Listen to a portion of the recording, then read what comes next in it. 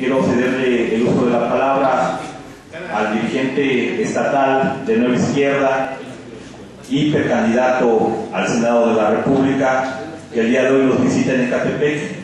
No me quiero quedar con las ganas, también darle la bienvenida, reiterarle, compañero Javier Salinas, que este es su casa, el pueblo de Ecatepec, eh, se lo apoya y que estoy muy seguro que cuando estés eh, en el proceso constitucional has de visitar nuevamente Ecatepec.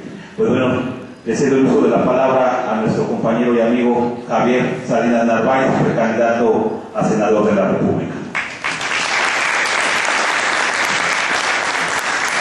Quiero, en primer lugar, agradecer a los medios de comunicación que nos acompañan en esta conferencia de prensa y, en segundo lugar, a el presidente del Comité Municipal de nuestro partido que nos hace el favor de abrir las puertas de la Casa del PRD para que juntos con mis compañeros y compañeras aspirantes a ser diputadas federales y diputados federales, podamos hoy externar al pueblo de Catepec nuestra aspiración, al pueblo del Estado de México nuestra aspiración.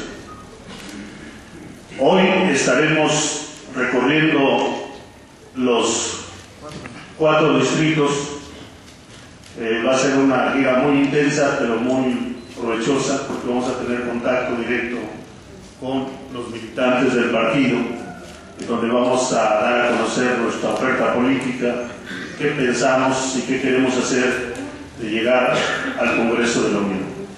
Por eso me complace mucho estar aquí acompañado de Natalia, candidato en el distrito 10, de Brisa en el 13, de Cipriano en el 16 y de Jessica en el distrito 17. México vive uno de los peores momentos eh, de nuestra historia. La política neoliberal de la derecha ha fracasado y se ve reflejado tan solo en temas que son de interés cotidiano y se observan en la vida diaria. El día de ayer se da el primer gasolinazo y esos aumentos se verán incrementando paulatinamente. Urge desde el Congreso de la Unión aprobar los recursos suficientes para que en México puedan crearse tres refinerías. Una que está ya en marcha y urgimos al gobierno federal para que inicie y se acabe la construcción, que es el Estado Hidalgo, otro que debe de plantearse en el sureste y otro que debe de estar en el altiplano de México. Si nosotros, como productores de petróleo en el país, no somos capaces de transformar nuestros productos y seguimos importando petróleo crudo de Estados Unidos e importando gasolina que es cara, va a tener efectos devastadores en la economía. Porque si sube los energéticos, si sube el diésel y la gasolina, tiene impacto directo a los productores, a la gente que comercializa productos básicos desde el campo, a la pequeña y mediana empresa, a los transportistas, a los comerciantes y esto genera una escalada de precios que va en detrimento del poder adquisitivo de los trabajadores. También nos pronunciamos porque desaparezca la Comisión de Salarios Mínimos y sea el Congreso de la Unión quien comience a legislar sobre el tema de salarios mínimos. Es increíble cómo el poder adquisitivo de la gente se está perdiendo día a día a raíz de que se crea la Comisión Nacional de Salarios Mínimos en el 92-93 eh, y viene eh, dándose vigencia a la COSANAMI, el salario crece cada año dos pesos con 33 centavos. Es decir, de 2002 a 2012 el salario ha subido 20 pesos con eh, un promedio de 22 pesos. Creemos que esto no puede continuar así, que debe de legislarse para devolver el poder adquisitivo a los ciudadanos eh, sin que eso implique eh, un desajuste a, la economía, por el contrario, que no sea gravoso para el empresario, pero que también los trabajadores puedan recuperar el salario mínimo para que exista una canasta básica que nos permita eh, tener un nivel de vida en nuestro país. Hay temas que eh, el Estado de México urge resolver. Nuestra condición de ser conurbados con el Distrito Federal hace que tengamos, que tengamos muchas necesidades. Y hoy estamos viendo temas serios como el de la basura, que se está generando en la Ciudad de México y que esa basura está llegando al Estado de México en rellenos sanitarios que no están debidamente legalizados, que los permisos no se han cumplido con los estudios de impacto ambiental, pero ante los intereses de negocios que hay y la relación con el gobierno del Estado hacen que existan y tienen un impacto negativo hacia las comunidades porque contaminan mantos acuíferos, contaminan recursos naturales y no hay ningún beneficio para la ciudadanía. Tiene problemas incluso de salud. Pronto vamos a estar observando que esa contaminación que generan estos rellenos sanitarios impactan directo a los niños y tendremos problemas ahí de alergias y otro tipo de enfermedades. Por eso hace necesario regular y reglamentar eh, este tipo de acciones.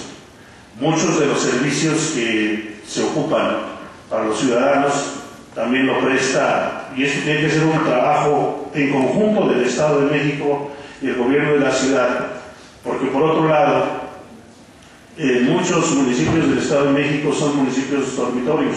Mucha gente trabajamos en la Ciudad de México y ocupamos el transporte.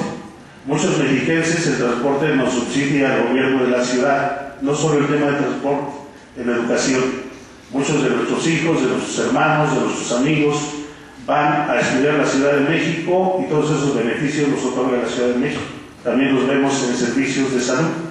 Entonces, creemos es necesario que se le dé un tratamiento específico a los problemas metropolitanos, que no se ponga una frontera que unos son del DF y otros del Estado de México, de los municipios conurbados, sino se vea como un problema de la zona metropolitana, en donde es necesario legislar, pero también es necesario destinar los recursos suficientes para que las políticas públicas establezcan atención a estas demandas. Son temas que vamos a trabajar desde el Congreso. Yo estoy seguro que los que estamos aquí vamos a estar en el Congreso de la Unión, algunos en la Cámara Baja, yo espero estar en la Cámara Alta y de verdad nos sentimos genuinamente orgullosos de representar al Estado de México. Lo haremos con dignidad, lo haremos con orgullo de ser mexiquenses y haremos un trabajo que nos permita recuperar la confianza de los ciudadanos. Los ciudadanos comúnmente dejan de tener confianza en la política porque ven hechos y acciones de políticos que eh, no logran que la gente tenga confianza. Pronto veremos escándalos grandes, está vislumbrando ya ahí el escándalo de Arturo Montiel, veremos otros tipos de escándalos y es lo que hace que la ciudadanía se aleje de la política. La revolución democrática, y en este caso no la izquierda, concebimos a la política noble, a la política constructiva, a la política que arranca del servicio a la ciudadanía. Si nosotros tenemos oportunidad de representarnos en el Congreso de la Unión, vamos a estar atentos a lo que diga la gente, vamos a hacer lo que se está haciendo aquí en Ecatepec con el Frente Popular Independiente, con la UCP, con Presente y con Frida, de, que, encabezar luchas sociales, de encabezar demandas sociales que son necesarias para resolverlos eh, en Ecatepec. Ecatepec es un municipio muy importante, el más importante del Estado de México y creo que el más grande de América Latina, que aspiramos recuperar el gobierno con la revolución democrática. El próximo 28 de febrero se va a emitir la convocatoria para elecciones locales en el Consejo Estatal. Se va a instalar ya el Consejo Estatal una vez que ha sido ya calificado eh, los consejeros que fueron electos en el pasado proceso electoral interno, vamos a instalar el Consejo y vamos a emitir la convocatoria.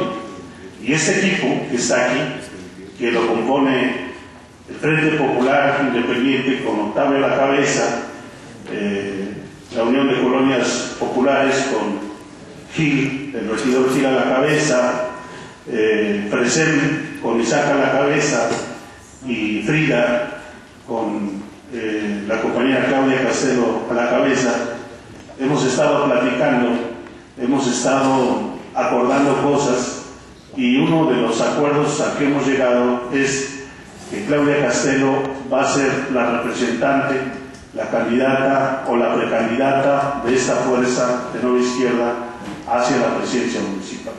Porque queremos presentar a los mejores hombres y a las mejores mujeres. Si quiero destacar algo que decía el compañero Cipriano, una gente muy importante de nuestro partido que ha sido el secretario general, que ha sido diputado local y que hoy eh, aspira a ser parte del Congreso de la Unión como servidor.